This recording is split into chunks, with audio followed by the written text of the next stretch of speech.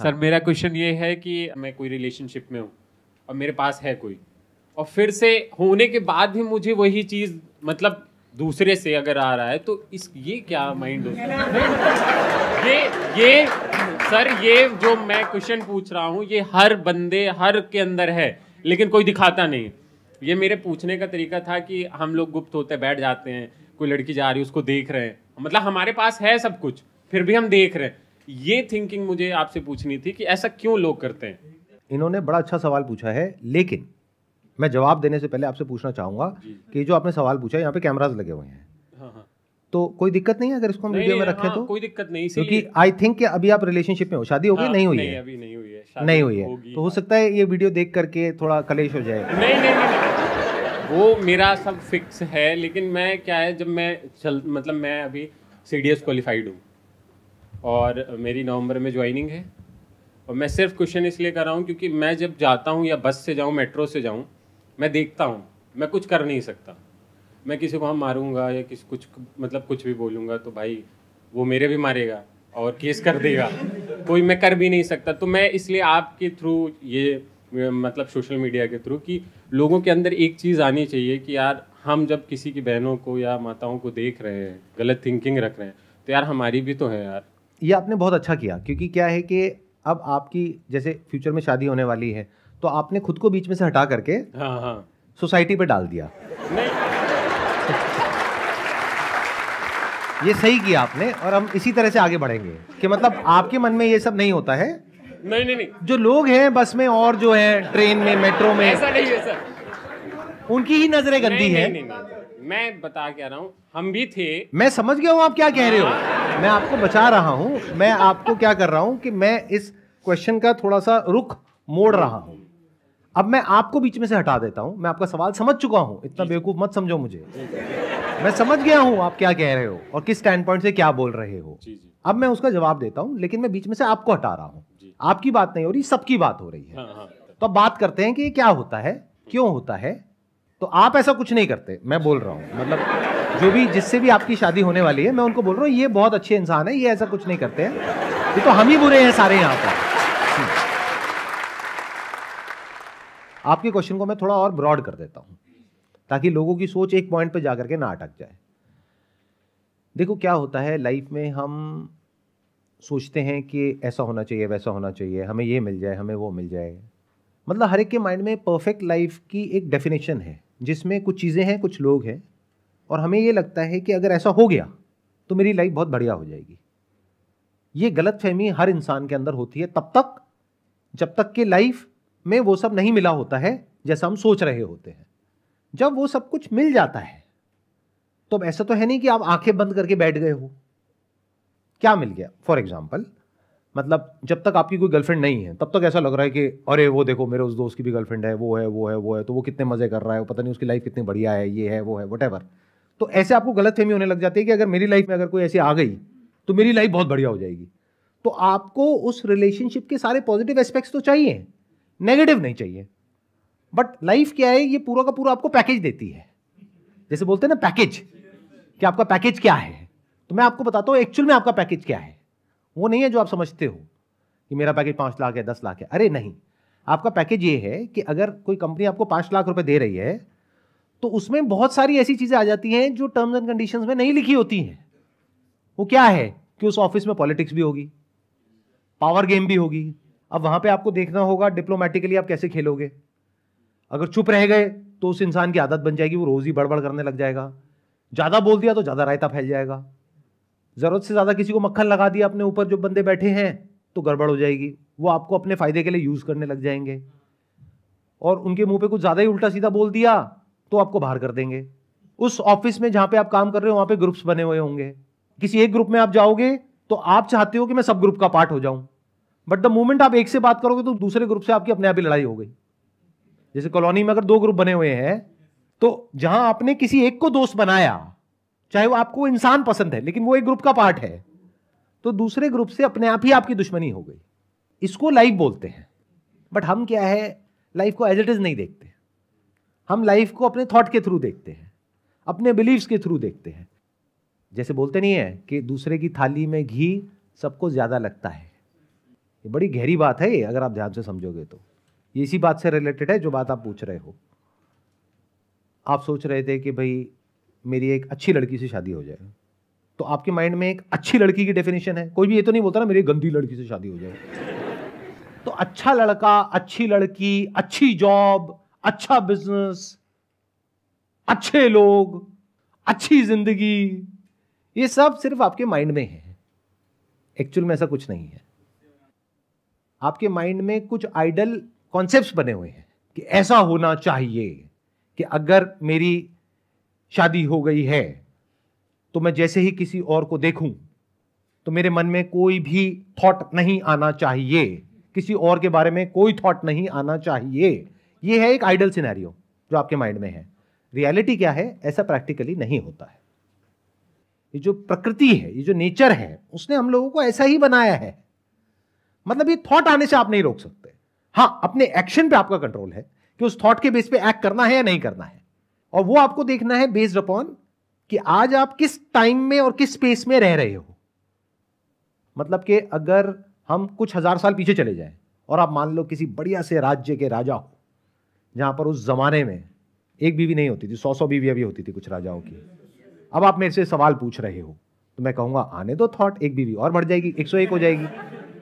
बीवी को भी प्रॉब्लम नहीं है, क्योंकि सोसाइटी ही ऐसी है। बट अगर आज के टाइम में आप यहाँ पर रह रहे हो और जिस तरह के बैकग्राउंड से आप हो, जिस तरह का आपका कल्चर है, जिस तरह की सोसाइटी है, उसके अपने कुछ नॉर्म्स हैं।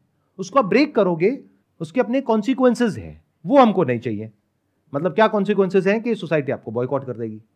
आपके ऊपर ठप्पा लग जाएगा, ये तो घटिया इंसान है, ये बुरा इंसान है, इसने धोखा दिया है डिवोर्स हो जाएगा, बच्चे इज़्ज़त नहीं करेंगे। तो हमें वो नहीं चाहिए, इस वजह से आप रुक रहे हो मतलब किसकी वजह से रुक रहे हो? डर की वजह से रुक रहे हो। अगर कोई डर ना हो तो आप पागल हो जाओगे, जो आप थाईलैंड में जाकर के हो जाते हो। तो आप असली में क्या हो? जो यहाँ पर आप दिखा रहे हो, सबको बोल रहे हो कि भाई, मेरे को ऐसे कोई थॉट नहीं आते हैं, क्योंकि अगर आपने बोल दिया कि मेरे को ऐसे थॉट आते हैं, और उसने भी आपको बोल दिया कि मेरे भी माइंड में ऐसे थॉट आते हैं, तब तो बवाल हो जाएगा। तो सब एक दूसरे को झूठ बोलते हैं। कि नहीं, मेरे माइंड में ऐसे कोई थॉट नहीं आते। तुम्हारे अलावा, अरे ना ना ना ना ना ना। तो ये थॉट्स आना नेचुरल है। तो अगर कोई आपको आकर के ये बोल रहा है ना कि ऐसे थॉट्स आने आपके माइंड में बंद हो जाएँगे, अगर इस तरह की मेडिटेशन करोगे, लेकिन उसके लिए तुम्हें सात दिन के लिए मेरे पास आना पड़ेगा और पच्चीस हज़ार रुपये देने पड़ेंगे तो समझ जाओ, वो मज़े ले रहा है आपसे। तो ऐसे चक्रों में मत फंसो। कुछ भी कर लो, कहीं भी चले जाओ थॉट को तो आप नहीं रोक सकते। जैसे आँख खोलते हो, दिखता है तो अगर ब्रेन है तो थॉट आएँगे। और थॉट कैसे आएँगे? हर तरह के आएँगे। अच्छे से अच्छे, जिसको आप बोलते हो सोसाइटी के पॉइंट ऑफ़ व्यू से। बुरे से बुरे। मैंने ज़ोर दिया है बुरे से बुरे पे। अगर आपने ध्यान से सुना हो तो। मतलब इतने बुरे कि अगर वो थॉट जो आपके माइंड में सुबह से रात तक चलते हैं, सिर्फ़ 24 घंटे के लिए, वो ब्रॉडकास्ट हो जाए। नेशनल टेलीविज़न पे। उसके बाद जो मज़ा आएगा या वो इंसान जो आपको इस तरह की बातें कर रहा है, उसके खुद के जो थॉट्स हैं, उसको ब्रॉडकास्ट कर दो। आने वाले टाइम में न्यूरा लिंक आ जाएगा। तो यहाँ पे उसके एक चिप लगाओ और दिखाओ जरा अंदर चल क्या रहा है। तब देखते हैं क्या चल रहा है। भाई, बड़ा सिंपल है। आँख खोलोगे तो दिखेगा। कुछ भी अच्छा दिखने से, बुरा दिखने से आँखों पे कोई फ़र्क पड़ता है? ऐसे ही। कोई अच्छा थॉट आता है, बुरा थॉट आता है, उससे आपकी ब्रेन पे फ़र्क नहीं पड़ता है। तो ये आइदर और के चक्रों से बाहर निकल आओ। ये बहुत बड़ी गड़बड़ है हम सबकी। हम लाइफ को ना हमेशा फ्रेगमेंटेड वे में देखते हैं। मतलब लाइफ को इस तरीके से देखते हैं कि जो मैं सोच रहा हूँ ना, ऐसा होना चाहिए। सामने वाला इंसान ऐसे करना चाहिए। मैं ऐसे होना चाहिए। मेरी लाइफ में ये होना चाहिए। अरे वो हो तो जाता है, लेकिन उसके साथ में और बहुत कुछ मिलता है। जो मिलता है, उसके भी अपने प्लस माइनस होते हैं। यानी हमको एक गलत फहमी होती है कि अच्छा अगर इस इंसान को मैंने छोड़ दिया, उस इंसान के साथ रिलेशन में आ गया तो कुछ बहुत अच्छा हो जाएगा। अच्छा नहीं होगा। यहाँ भी कुछ अच्छा हो रहा है, बुरा हो रहा है, वहाँ भी कुछ अच्छा होगा, बुरा होगा। सिंपल है। कुछ एक्सेप्शनल केसेस ऐसे होते हैं जहाँ पे लाइफ टॉक्सिक हो रही होती है। किसी इंसान की वजह से या किसी सिचुएशन की वजह से। वहाँ से बाहर निकलना ज़रूरी होता है। मैं उसकी बात नहीं कर रहा हूँ। मैं बात कर रहा हूँ जहाँ पे जो आपका सवाल भी था कि लाइफ ठीक ठाक चल रही है मतलब जॉब अच्छी है, मान लो मैरिड लाइफ भी अच्छी है, सब कुछ सही चल रहा है, फिर भी माइंड में तरह तरह के विचार आते रहते हैं। रह रहे हैं, दिल्ली में सोच रहे हैं, गोवा के बारे में। तो अब क्या है कि अगर आप ये बोलते हो कि ऐसा कैसे ना हो तो मेरा जवाब है, ऐसा हो ही नहीं सकता कि ऐसा ना हो। तो आपकी एक प्रॉब्लम तो सॉल्व हुई कि मतलब अगर आप ये एक्सपेक्ट कर रहे हो कि आप मेट्रो में जा रहे हो और आपकी इधर उधर नज़र पड़ी और जो भी आपके माइंड में अट्रैक्टिव की डेफिनेशन है, उससे मिलता जुलता कोई इंसान मेल या फीमेल वट वो आपके सामने है। और आप ये एक्सपेक्ट कर रहे हो कि अंदर कोई थॉट ना आए, कोई फीलिंग ना आए। तो ये बिल्कुल ऐसा है कहना कि मैंने किसी इंसान को देखा, लेकिन देख करके उसका नाम मेरे माइंड में ना आए। क्या ऐसा हो सकता है? आप मुझे अभी देख रहे हो? अच्छा मुझे देखो, लेकिन मेरा नाम आपके माइंड में नहीं आना चाहिए। क्या ये पॉसिबल है? नॉट पॉसिबल ऐसे ही, जो आपके डिजायर्स हैं, और फियर्स हैं, उससे रिलेटेड कुछ भी होता है आपकी लाइफ में तो वो डिज़ायर और फियर ट्रिगर हो जाते हैं। तो थियोरटिकली इसका क्या सोल्यूशन है कि डिज़ायर और फियर पूरी तरह से खत्म हो जाए। वो किसी के नहीं होते हैं, बदलते रहते हैं। ध्यान से अगर आप देखोगे, वो लोग जो कहते हैं कि आपके डिजायर्स खत्म हो जाए, उनके खुद के डिजायर्स भरे पड़े हैं। वो पूरा अपना डिज़ायर के ऊपर लेक्चर देंगे तीन घंटे का, उसके बाद में कहेंगे कि जाते वक्त ना ये पर्ची कटा के जाना। और जो जितने ज़्यादा पैसे देगा, अगली बार उसको ये वाली सीट मिलेगी। ये वी के लिए है। ये अगली कैटेगरी के लिए वो उस कैटेगरी के लिए वो उस कैटेगरी के लिए है। तो आपको लग रहा है कि उसके सारे डिज़ायर बदल गए, क्योंकि वो आपकी तरह नौकरी नहीं कर रहा है बिज़नेस नहीं कर रहा है। अरे, उसके अलग तरह के डिज़ायर है, आपके अलग तरह के डिज़ायर है। तो अगर इसको मैनेज करना है तो उसका बेस्ट सोल्यूशन क्या है? देखना, ध्यान से समझना। अगर एक्चुअल में मैनेज करना है। अब मैनेज करने की ज़रूरत क्या है? ये जो शॉर्ट टर्म अट्रैक्शन है प्लेजर्स हैं, ये जो थॉट्स आते हैं, अगर मैंने इसके बेस पे एक्ट किया थॉट आना प्रॉब्लम नहीं है बट अगर मैंने एक्ट किया तो बहुत बड़ी गड़बड़ हो जाएगी। इसका तरीका क्या है? अपने माइंड में इस तरह की इंफॉर्मेशन फ़ीड करो, इस तरह की थॉट्स फ़ीड करो कि आपका ध्यान कहीं और लग जाए। मतलब अगर ध्यान को आप खुला छोड़ दो, ध्यान कहीं ना लगे तो कहाँ जाएगा?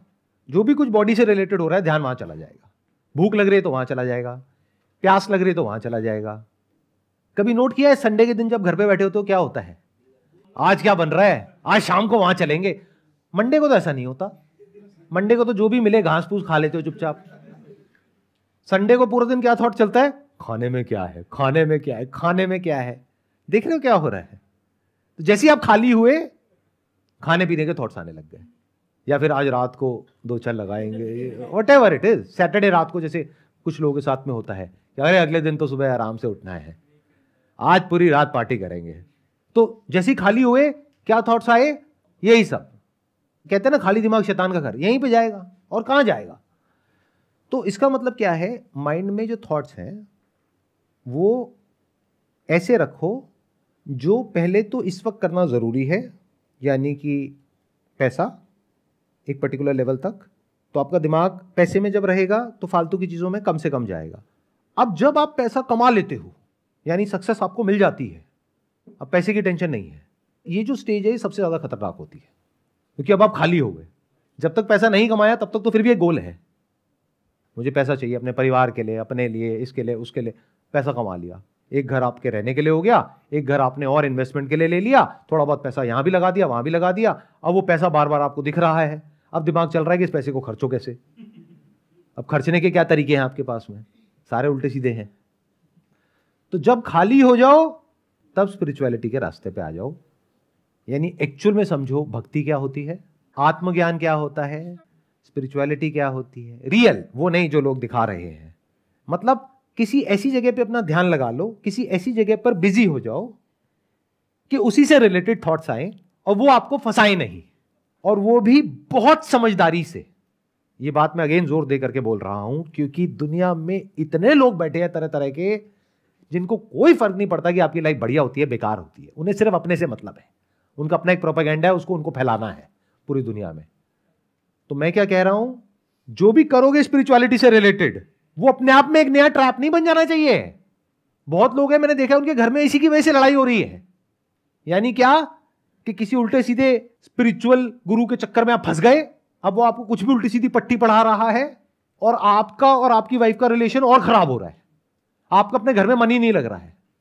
आपका मन कर रहा है, बस उस गुरु के पास में जाकर के बैठे रहो और गुरु को बोल रहे हो, मेरे को यहीं कहीं कोई काम दे दो। तो समझ जाओ, अब आप बुरे तरीके से फंस गए हो। जो गुरु असली होगा, गुरु मतलब वो जो आपको अंधेरे से रोशनी की तरफ़ ले जाए, यही गुरु का मतलब है। और वो वही ले जा सकता है जो खुद निकला है, जो खुद पहुँचा है रोशनी की तरफ़ जो खुद अभी अंधेरे में है, यानी खुद फंसा हुआ है, अपनी ही एक रेस में, हर एक की अपनी अलग अलग रेस है, जो खुद कहीं फंसा हुआ है, वो आपको कहाँ बाहर निकालेगा? जो खुद अंधेरे में है, वो आपको क्या रोशनी की बातें करेगा? वो तो आपको और अंधकार में ले जाएगा। तो जब स्पिरिचुअलिटी के रास्ते पे आओ तो वहाँ पे एक सिंपल सा बेंचमार्क है। अगर आपकी फैमिली लाइफ यानी कि आपकी पर्सनल लाइफ आपकी हेल्थ और आपका काम आपके मन की शांति बेटर हो रही है तो वो स्पिरिचुअल पार्ट ठीक है। अगर वो और डिस्टर्ब हो रही है, कोई इंसान है जो फ्रस्ट्रेटेड है, बौखलाया हुआ है, अपनी ज़िंदगी में खुद ही परेशान है, और उसको आप सुनते चले जा रहे हो तो वो सारी फ्रस्ट्रेशन आपके अंदर आ रही है, और वो कहीं बाहर निकल रही है। लड़ाई झगड़े और बढ़ रहे हैं कंफ्यूजन और बढ़ रहा है, कि आप ये करें या वो करें तो समझ जाओ आप गलत ट्रैक पे चले गए हो। तो वापस से ट्रैक चेंज कर लो। ठीक ट्रैक पे आ जाओ।